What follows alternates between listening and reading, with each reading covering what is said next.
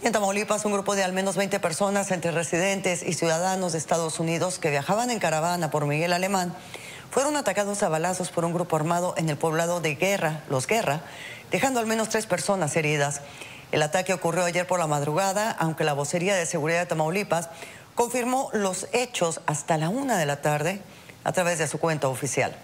Presuntamente los delincuentes confundieron a los viajeros con elementos de seguridad federales que en últimas ocasiones se trasladan en unidades particulares para sorprender a los criminales.